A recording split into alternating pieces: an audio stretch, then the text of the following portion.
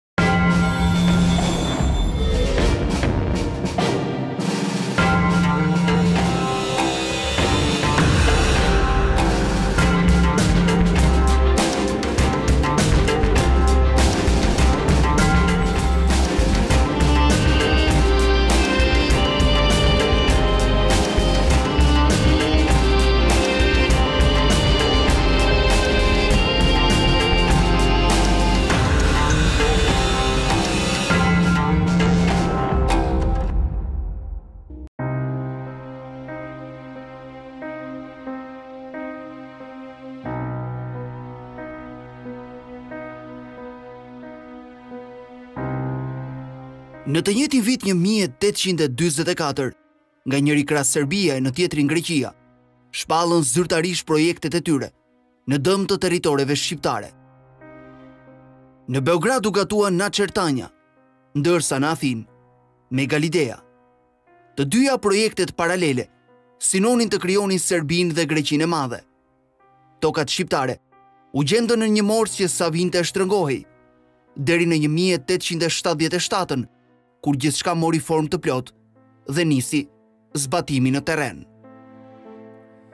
Në këtë vit Rusia i shpalli luftë Perandorisë Osmane, në ndërkohë që duke përfituar nga situata, trupat serbe dhe malazeze u hodhën në sulm drejt Sanxhakut të Nishit. Në atë dimër të ftohtë mes viteve 1877, 1878, Nisi spastrimi i shqiptarëve dhe largimi me dhunë nga këto territore, të cilat në Shqipëri njihen fare pak. E gjithë kjo zonë sot ndodhet në Serbi. Madje Nishi, kryeqendra e Sanxhakut të dikurshëm, është një nga qytetet e mëdha e të rëndësishme të Serbisë. Sot këtejmi, në një hapësirë disa mijëra kilometra katrorë, zyrtarisht nuk ka më shqiptarë. Madje askush nuk lejon që të flitet për ta. dhe historinë e dikurshme.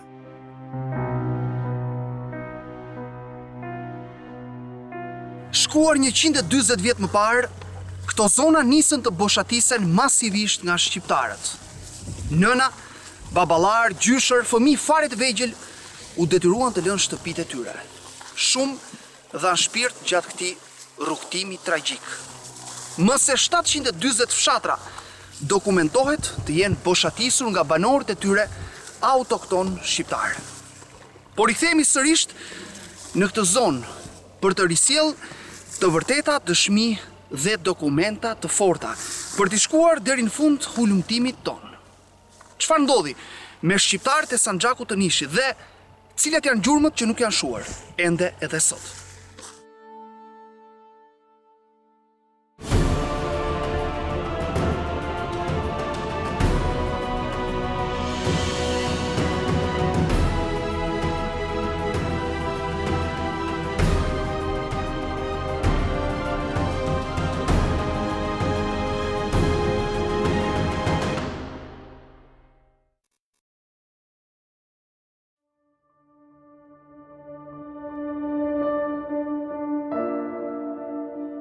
Rrugëtimi drejt këtyre zonave nis menjëherë me vështirësi të shumta. Në kufirin e Merdarës, mes Kosovës dhe Serbisë, policia serbe ndalon grupin tonë për kontrolle të mëtejshme. Sigurisht, ato nuk janë të rastësishme, përkundrazi.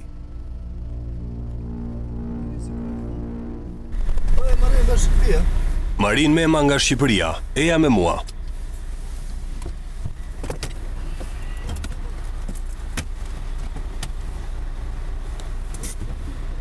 Ti tjetri prit jashtë, a je ti me të? Por ai nuk di serbisht. Kush? Marini. S'ka lidhje. Veç të vërtetojmë diçka dhe mund të shkoni.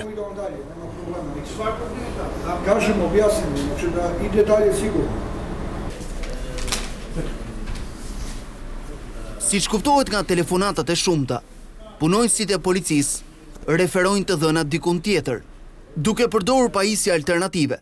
Së bashku me bashkëpunëtorin tonë të ngushtë, historianin e ri dhe njohësin e mirë të Sanxhakut të Nishit, Florent Asani, mundemi megjithatë të shkëpusim disa copëza në brendësi të postës policore në pikën kufitare të Merdares.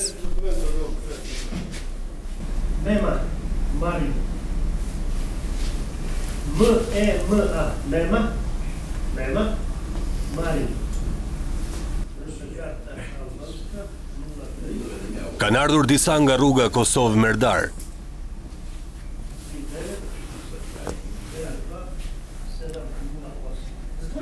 Largohu! Mbylle derën!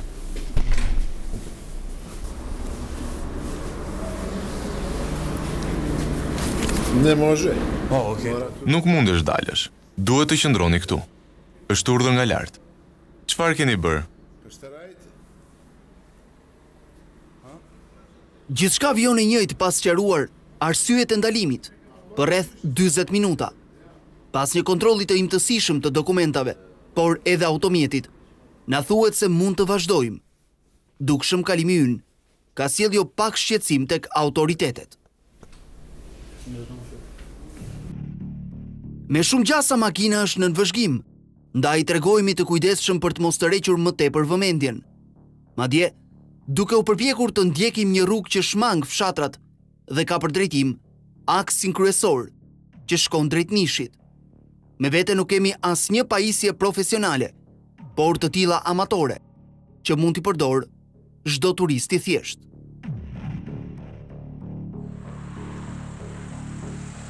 Të gjitha këto fshatrat që ne sot po përshkojmë duken si fshatrat që nuk ka asgjë që dëshmon që këtu kanë jetuar shqiptarët, Por e vërteta është krejt tjetër. Të gjitha dokumentet, si ato të huajat, edhe ato të hulumtuesve shqiptarë, por edhe të autorëve serbë, tregojnë që këto zona, këto fshatra, qytetet e këtyre zonave janë jetuar plotësisht me shqiptarë, Teksa në vitin një mijë e tetëqind e shtatëdhjetë e shtatë, një mijë e tetëqind e shtatëdhjetë e tetë, shqiptarët po dëboheshin masivisht nga ushtria serbe dhe malazeze, Traktati i Shën Stefani dhe më pas Kongresi i Berlinit, të zhvilluara pikërisht në këtë periudhë, jo vetëm nuk ndalën asgjë, por zyrtarizuan projektet e Serbisë. Me bekimin e ndërkombëtarëve, Nishi, Toplica, Jabllanica, Mansurica e Meradh, nisën të spastrohen, këtë herë në formë fare të hapur, aq sa largimi i shqiptarëve është përshkruar edhe nga vetë autorët serbë. Shqiptarët të zhveshur e të zbathur nëpër të ftohtit e acarit të dhjetorit, i braktisën nga dhuna shtëpitë e tyre, Atë natë vdiqën shumë gra e pleq, shumë fëmijë, të hedhur e të ngrirë grykës së Gërdelicës deri në Vranjë e Kumanovë.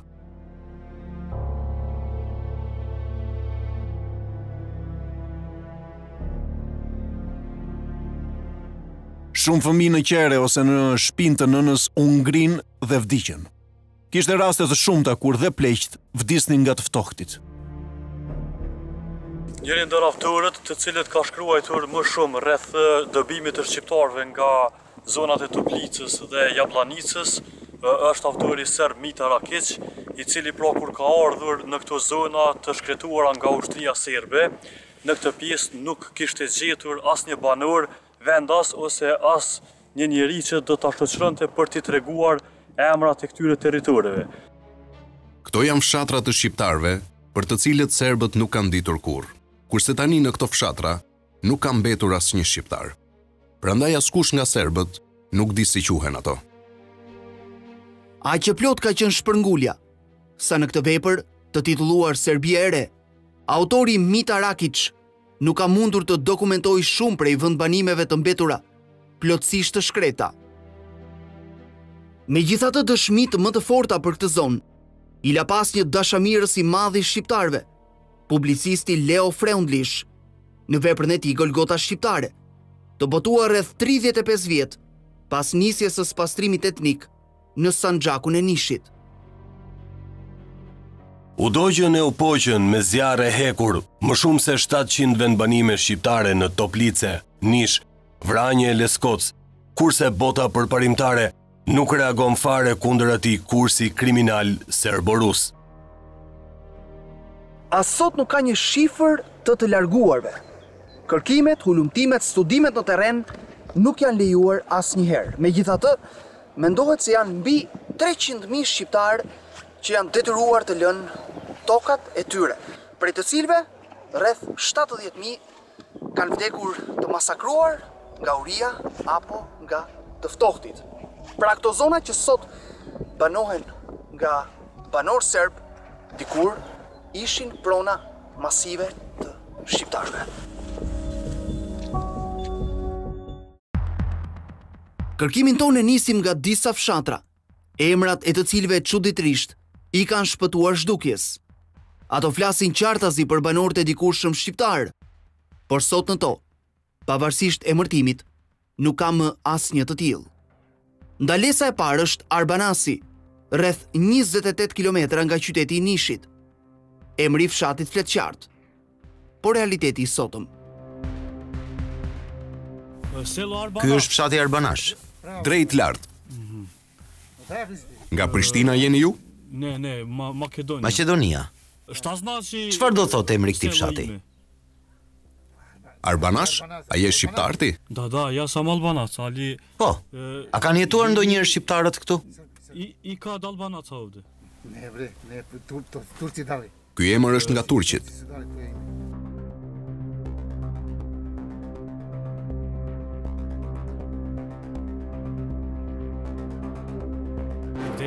Ku është fshati Arbanash? Atje më lart tek ajo shtëpia. Çfarë kuptimi ka emri i këtij fshati? Nuk e di. A kanë jetuar shqiptarë dikur këtu? Jo. Po pse ka emër shqiptar?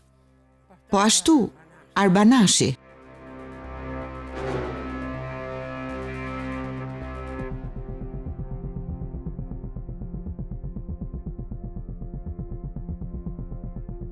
Çfarë do të thotë emri i fshatit Arbanash? Fshati Arbanashi është nga koha e turkut. Nuk kanë jetuar shqiptarë këtu. Jo. Jo shqiptarë. Po atëherë, përse është emri shqip? Nuk ka rëndësi, është nga kohët e vjetra, nga kohët e turqve. Po tursko vreme. Ka që se të redi turqi. Kur kanë shkuar turqit, serbët i kanë marrë këto toka. Një të gjali i ma një sveo, srpsko. Iandesh, ja u zhjema më tebe.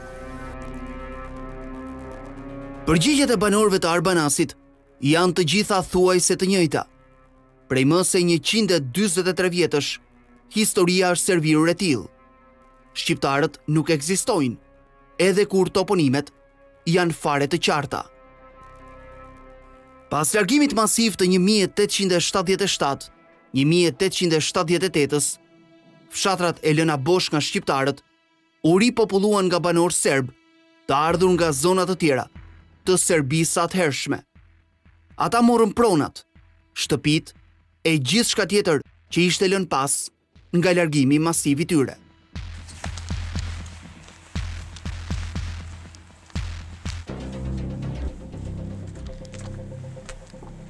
Shumë qëndra ende edhe sot në Serbi, mbajnë emrin Arbanas dhe shfaqen qartë në dokumenta, pavarësisht prapashtesave sllave, që u janë vënë disave prej tyre, ato nuk humbën kuptimin dhe arsyen për të cilën janë regjistruar. që në periudhën osmane me këtë emër. Në mesjetë shqiptarët e identifikonin veten si arbërorë, ndaj emra të tillë ishin më se normal kudo që ata jetonin. Kërkimin tonë e zhvendosim drejt Gërgurit, një fshat rreth 45 km më tej.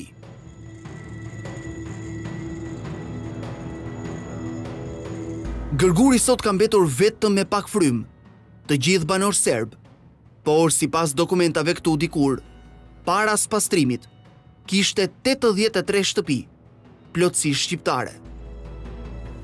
Gergur, çfarë do thotë ky emër? Gërguri është në anën e djathtë, janë gjashtë fshatra deri në Zhush. Çfarë do thotë ky emër, Gergur? Fshat është, Është emër shqiptar? Po. A kanë jetuar shqiptarë këtu? Po. Të gjithë fshatrat, para më shumë se njëqind vjetëve. Vërtet? Albanci? Stvarno? Po, unë tregoj të vërtetën. Jam i interesuar të di se cilat prej fshatrave janë jetuar me shqiptarë. Po, të gjitha.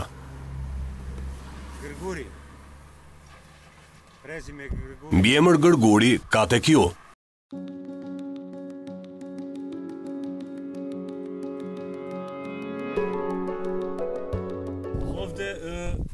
Çfarë do të thotë emri Gërgur?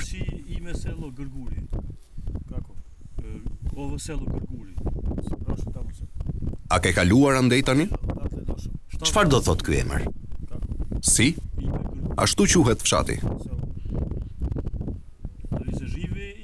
A kanë jetuar dikur shqiptarë këtu? Pse po të intereson ty? A je shqiptar ti? Po. Mbiemër Greguri këtu nuk ka, por fshati Gregur kështu quhet. Ka shumë në Kosovë me këtë mbiemër. Nuk e di çfarë konkretisht po të intereson. Për fshatin ju pyeta, se ka emër shqip.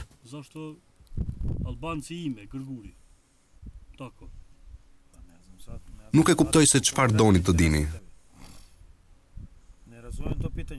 Nuk e kuptoj pyetjen tuaj. Rasti i mbiemrit Gërguri, i cili haset sot masivisht në Kosovë, nuk është i izoluar. Të gjithë të larguarit nga këto territore, emrat e fshatrave të tyre, i kthyen në mbiemra, si formë për të mos harruar kurrë, vendin nga ku vinin.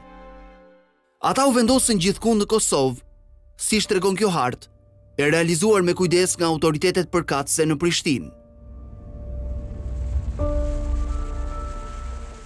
Jo larg nga Gërguri, ndodhen edhe fshatrat Rashicë e Çunglla, Edhe këto janë mbiemra të hasur dendur në Kosovë, e që gjenezën e kanë pikërisht nga këtu.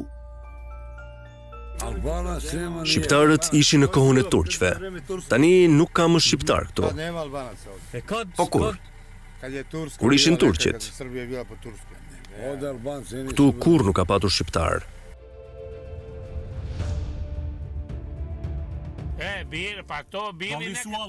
Këtu ka patur shqiptarë, në Berbadoc, Muzaq e Gergur.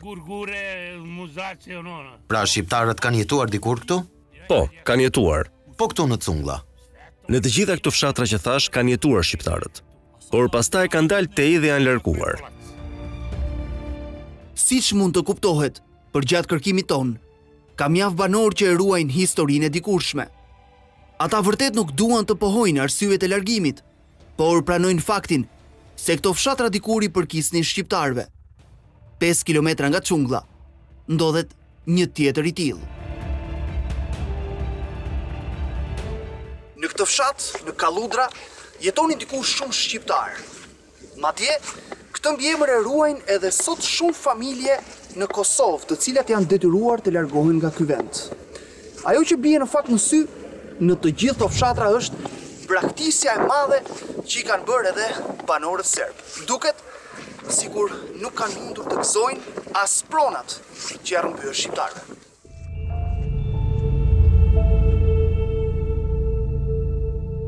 Dokumenta tregojnë se vetë princi Milani i Parë Apo Milan Obrenoviç, i cili drejtonte në atë kohë Serbinë, dha një urdhër të prerë lidhur me fatin që duhet të kishin shqiptarët e Sanxhakut të Nishit. Sa më pak shqiptarë që të mbeten në territoret e çliruara nga Turqia, aq më shumë do të kontribuoni për shtetin. Sa më shumë shqiptarë të shpërngulur, aq më të mëdha meritat për atdhe.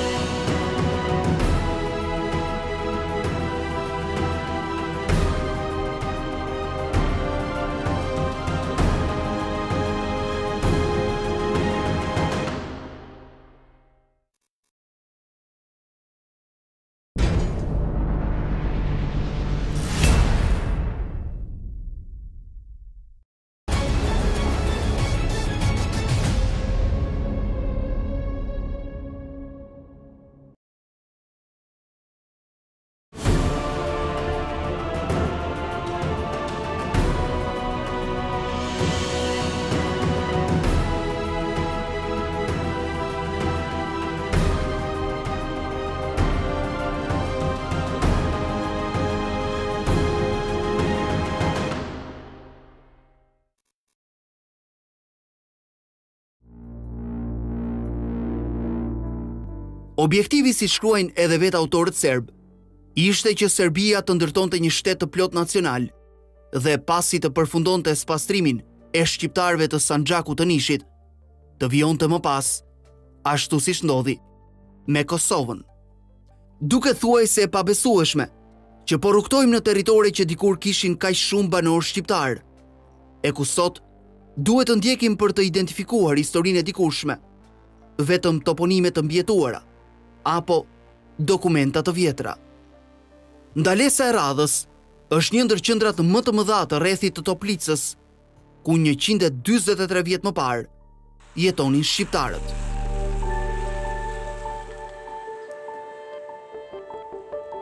Qyteti që duket pas meje është Kurshumlia. Ashtu si gjithkund, sot këtu banojnë masivisht banorë serbë. Por historia nuk ka qenë gjithmonë e tillë. Përkundrazi, deri në vitin 1877, sipas dokumentave në këtë qytet jetonin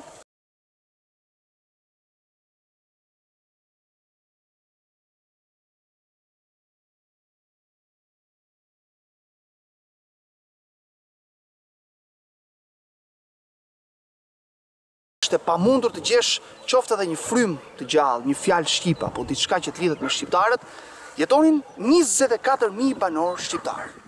Shikoni se sa kanë ndryshuar gjërat që nga një mijë e tetëqind e shtatëdhjetë e shtatë a një mijë e tetëqind e shtatëdhjetë e teta deri më sot.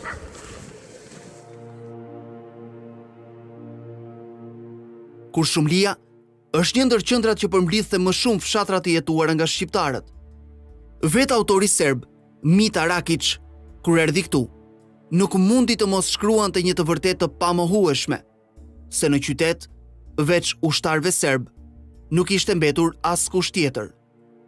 Dhe këto nuk janë të vetmet të dhëna që ai solli në veprën e tij.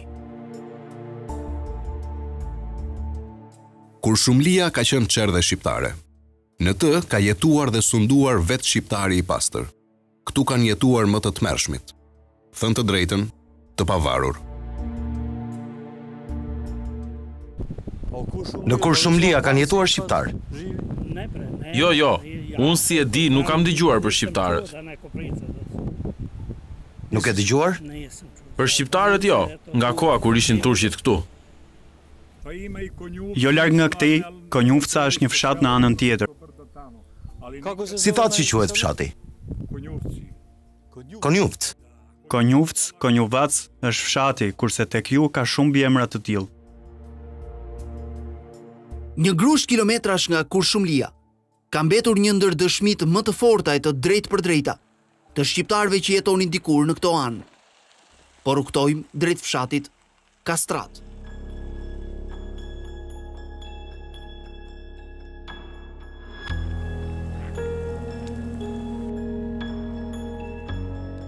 Shtëpitë pas meje i përkasin fshatit Kastrat. Kështu është quajtur dikur, kështu quhet edhe sot. E vështirë të thuhet se si ka mundur t'i mbijetojë ky emër fshirjes së plotë të identitetit të shqiptarëve. Madje, Edhe në rrugën kryesore sot mund të dallohet tabela Kastrat. Por le të shohim nëse edhe këtu mund të kuptojmë diçka prej banorëve. Çfarë do të thonë ata për emrin që mbart sot ky fshat? Kujt i përkiste Kastrati?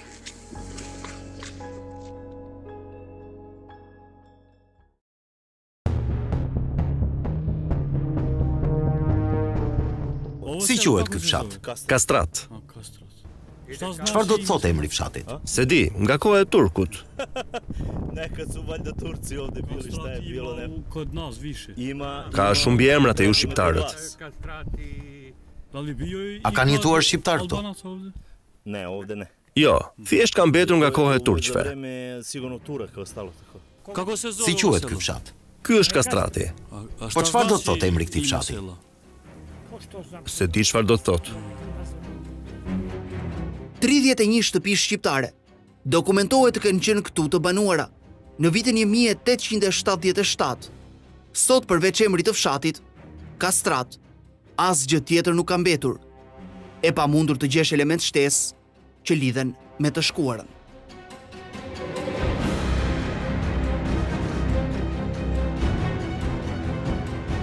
Ndjenja e nacionalizmit ekstrem është kultivuar si mënyrë për të mbuluar gjithçka lidhet me të shkuarën. Si mund të zhduket një popullsi që përbënte më se 90% të numrit të përgjithshëm të banorëve, Është e pamundur të vizitojmë çdo fshat, sepse historia në secilin prej tyre përsërit vetveten. Në dokumenta janë jetuar nga shqiptarët. Sot, përveç ndonjë tabele, nuk ka më asnjë shenjë të tyre. Siç e shikoni që nga periudha e pushtimit, Në këtë pjesë, pra shteti serb në mënyrë institucionale kishte përcaktuar edhe me ligj sllavizimin e Sanxhakut të Nishit. Qëllimi ishte që të zhdukte çdo dëshmi që këtu shqiptarët jetonin më parë. Pamëshira e tyre duket qartë kur ata kishin zhdukur edhe varrezat e popullsive shqiptare.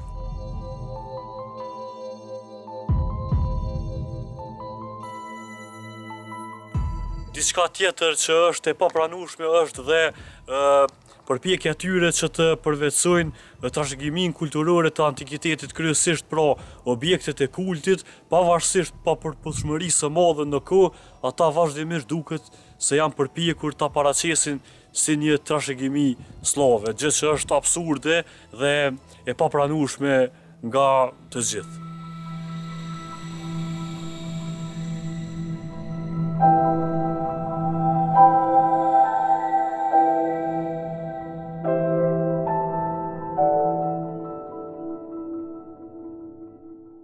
Edhe pse orientimi nuk është i lehtë, vizitojmë edhe disa fshatra të tjerë, në përpjekje për të shpluhurosur sa më shumë gjurmë të historisë së tyre të dikurshme. 16 kilometra nga Kastrati, ndodhet fshati Zhush. Pasuesit e familjeve të larguara nga ky vend, 143 vjet më parë, janë vendosur në Kosovë, në komunat e Prishtinës, në Besianë, Vushtri e më tej. Por çfarë ka mbetur pas sot në këtë fshat? Si quhet ky fshat? Zhush. Më lart janë Sollova, Paqarada, Merqesi. A kanë jetuar shqiptarë në këtë vend? Këtë nuk e di.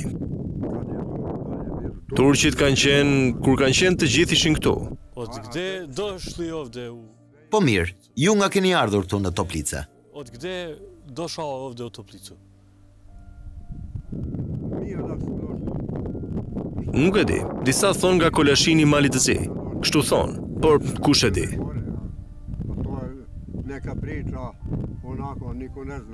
Odakle? Nga ku po thua se keni ardhur? Nga Kolashini i Malit të Zi. Kjo përgjigje tregon se banorët edhe kaq kohë më pas e kanë ruajtur faktin se në këto zona janë të ardhur, apo më mirë, të sjellë nga pushteti serb i kohës, për të mbushur shtëpitë dhe pronat e lëna bosh nga largimi i shqiptarëve. A kanë jetuar ndonjëherë shqiptarë atje? Ku? Në Zhush. Po, kanë jetuar, para turqve. Po në Kurshumli kanë jetuar shqiptarë? Jo, vetëm në fshatra. Po varret e shqiptarëve ku janë? S'ka, nuk janë. Po si kanë jetuar këtu shqiptarë? Po varret nuk i kanë? Nuk ka, nuk e di. Ata ishin këtu kur ishin turqit. A ka patur shqiptarë këtu në Zhush? Jo, nuk ka patur. Shqiptarë ka pasur prej këtu deri në Leskoc, Bojnik, Gajtan. I njoh, i njoh vendet të gjitha. Por tani vështirë se ka shqiptarë. Vetëm poshtë në Podujevë, në Kosovë. Në këtë zonë, Prollomi, Paqarada, Sollova e shumë fshatra të tjerë banoheshin të gjitha nga shqiptarë. Pa harruar Igrishtën e patriotit Shaqir Igrishta, apo shumë më tej, në Gjakën e Murat Gjakës, kudo kishte shqiptarë.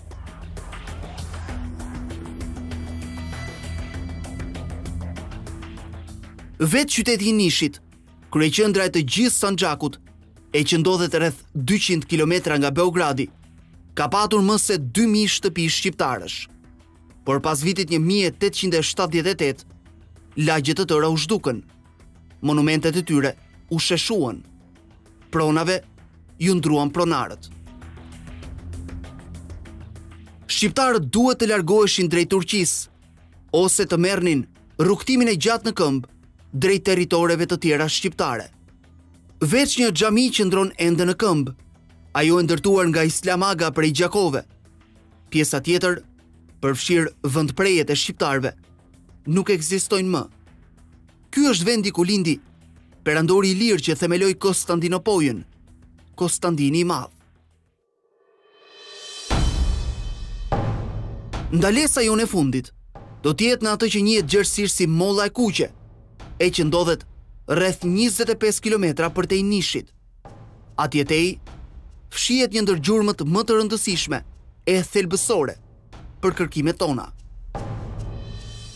Ky nuk është një fshat i zakonshëm, jo thjesht sepse ashtu si dikur mban emrin Katund, por për një histori shumë më të rëndësishme që fshihet pas tij. Këtu ndodhej dikur kufiri. Nuk kemi të bëjmë me një legjendë, por me një të dhënë të dokumentuar të cilën megjithatë do të përpiqemi ta verifikojmë edhe me banorët e këtushëm. A ruajnë ata, ndoshta nga të parët, faktin që kufiri serb, pra Serbia, fillonte shumë përtej kodrave që duken në horizont. Sot shumë gjëra kanë ndryshuar, megjithatë ne do të përpiqemi të kuptojmë më shumë përmes banorëve.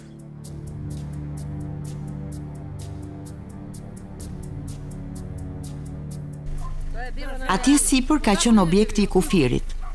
Ju nga keni ardhur? Maqedonia.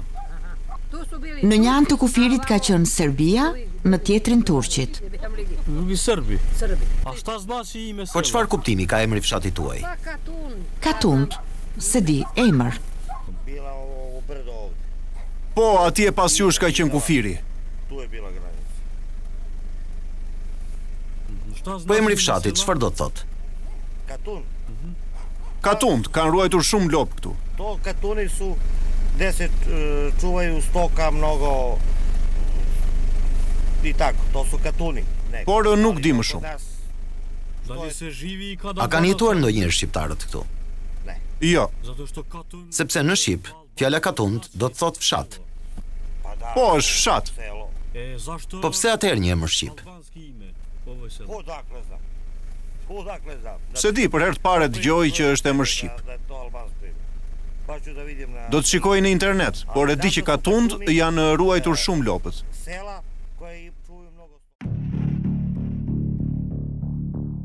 Në vitin 1833, Principata Serbe e kohës mundi të fitonte një autonomi nga perandoria Osmane. Për këtë arsye, kufiri nga pashallëku i Beogradit U vendos këtu, në fshatin Katund të komunës së sotme të Aleksincit.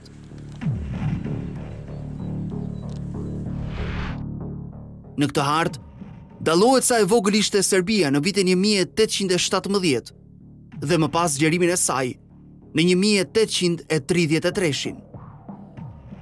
Perandoria Osmane ngriti këtu një pikë doganore, Një vendkalim kufitar, duke qenë se në këtë anë të kufirit jetonin shqiptarët ende të pushtuar, ndërsa në tjetrën serbët që kishin fituar autonominë kërkonin të zgjeroheshin më tej. Ky kufi që ruhet ende dhe sot në rrëfimet e banorëve u shkel nga trupat serbe vetëm në 1877 Një mijë e tetëqind e shtatëdhjetë e tetën, kur nisi sulmi dhe spastrimi i shqiptarëve të Sanxhakut të Nishit.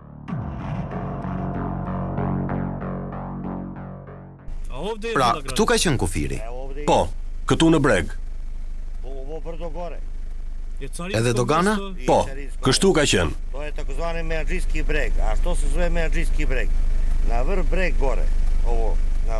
Përpara kam dëgjuar se serbët dhe turqit kanë bërë tregti kafeje, se aty ka qenë objekti. Kështu. Në përpjekje për të gjetur rrënojat e pikës së dikurshme kufitare, futemi gjithmonë e më shumë në thellësi të fshatit, e më pas sipër mbi të. Katundi tek Molla e Kuqe është pasuar si një legjendë brez pas brezi. Katundi ekziston ende edhe sot, ndërsa Molla e Kuqe thuhet se e mori këtë emërtim për shkak se në këtë tokë janë bërë beteja të mëdha. Janë vrarë njerëz të pafajshëm. Gjithçka u ngjye me gjakun e tyre, përfshirë një pemë molle dhe frutat e saj.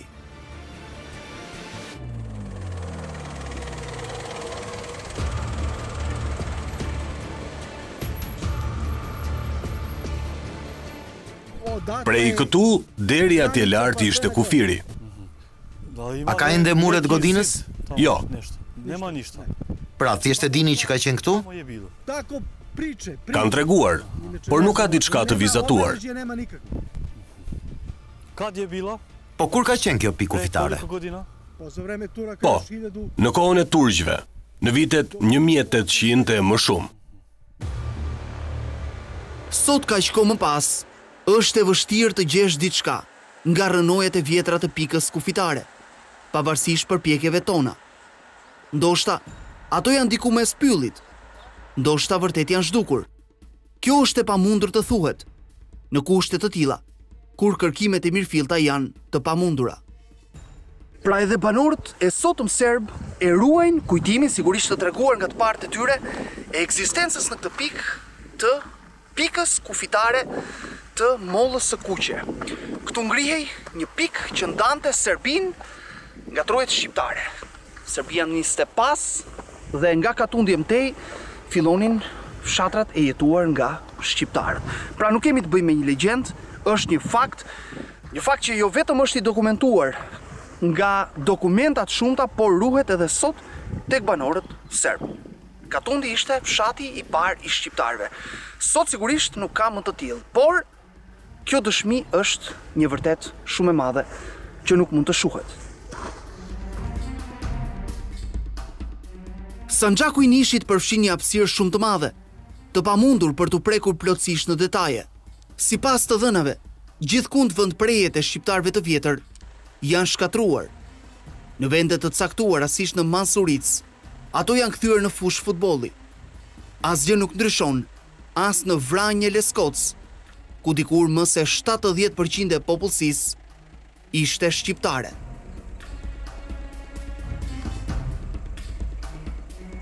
Njëjtë në Prokuple, kryeqytetin e Toplicës, ku prej pesëmbëdhjetë mijë shqiptarëve të dikurshëm që kishte ky qytet së bashku me rrethinat, Kanë mbetur vetëm dokumentat e shkruara. Për të kuptuar se çfarë kanë kaluar shqiptarët e këtij rajoni, mjafton t'i referohesh të dhënave të myderriz Faik Efendisë, që në një mijë e tetëqind e shtatëdhjetë e tetën ishte drejtues i medresesë në Arbanas. Pjesë të dëshmive të tij vijnë në veprën e profesor Akif Bajramit, si dëshmi të një dhune barbare e të paimagjinueshme. ndaj shqiptarëve. Dymbëdhjetë mijë e tetëqind e nëntëdhjetë e gjashtë civilë shqiptarë ishin vrarë nga ushtria serbe dhe mercenarët rusë në Nish dhe rrethina. Një mijë e gjashtëqind e njëmbëdhjetë të tjerë të moshave të ndryshme u vranë në Prokuplë. Në Kurshumli e rrethina u vranë tre mijë e njëqind e njëzet e gjashtë civilë, të gjithë shqiptarë. Për kufomat janë përgatitur varre masive. Asnjë kufomë nuk është pastruar. Sepse ka pasur raste kur janë varrosur vetëm gjymtyrët dhe në të tjera vetëm eshtrat. Sepse egërsirat e pyllit i kishin ngrënë kufomat. Vizitat tona në mjaft fshatra, ashtu siç pritej, shqetësojnë autoritetet policore. të cilat shfaqen për një kontroll të menjëhershëm. Keni ardhur nga Prishtina? Jo, nga Tirana. Nga Tirana, gazetarë. A keni dokumenta, kamera dhe pajisje të tjera? Duhet të prisni t'ju evidentojmë. A keni marrë ndonjë vërtetim në Merdare? Ka ndonjë problem? Pse po na kontrolloni? Na kanë lajmëruar nga lart që po bëni xhirime dhe po shikoni diçka.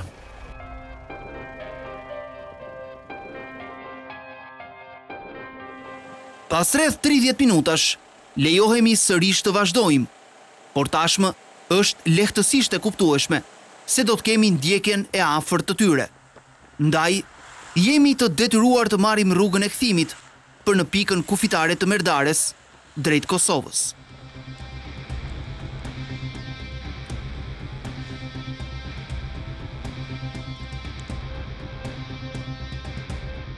Në total mendohet se rreth 300.000 shqiptarë i braktisën këto territore të Sanxhakut të Nishit, më se 70.000, mbyllën sytë në atë dimër të acartë të 1877-1878-ës.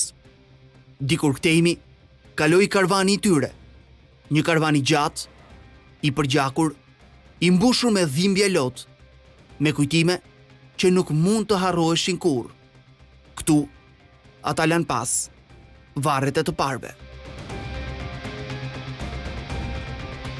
Këto janë të vërtetat e Sanxhakut të Nishit, e rreth njëmbëdhjetë mijë kilometrave katrorë, një hapësirë më e madhe se edhe vetë Kosova, e cila u boshatis plotësisht nga shqiptarët.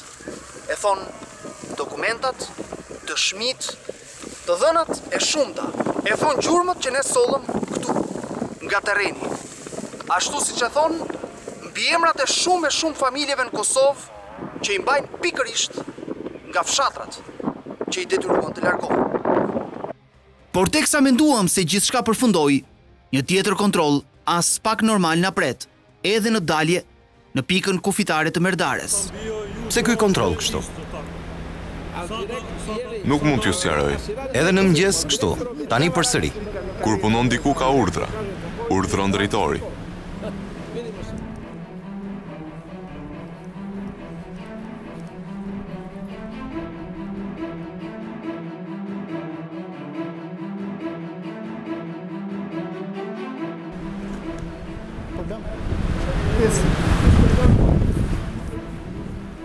Pas këtij tjetër kontrolli, më në fund kalojmë në Kosovë.